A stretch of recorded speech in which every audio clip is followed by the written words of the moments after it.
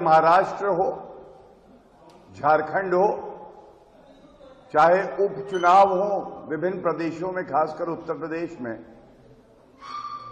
भाजपा और एनडीए के पक्ष में एक तरफा हवा चल रही है, जनता आशीर्वाद दे रही है, और महाराष्ट्र में हम पुनः एनडीए की महायुति की सरकार बनाएँगे, और झारखंड में एनडीए और भारतीय जनता पार्टी की सरकार बनेगी, ये सुनिश्चित हो गया है। कल खड़गे जी, जो कांग्रेस पार्टी के अध्यक्ष हैं, वो गजनी हो गए।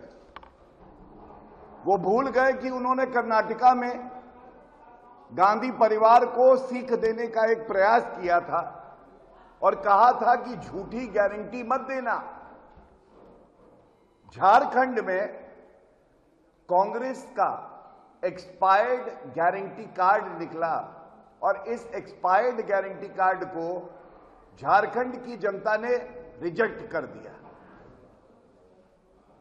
कांग्रेस, जेएमएम, साथ आई है तो एक ही बात की गारंटी है। गारंटी है वंशवाद की। गारंटी है तुष्टिकरण की।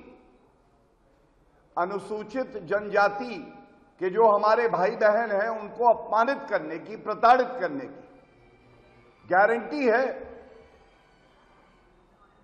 जिस तरह से भ्रष्टाचार और कानून व्यवस्था ध्वस्त किया हुआ है, और यह कहना गलत नहीं होगा कि मल्लिकार्जुन खड़गे जी ने दिखा दिया है कि वो रिमोट कंट्रोल से चलने वाले कांग्रेस पार्टी के अध्यक्ष हैं, जो गांधी परिवार के दबाव में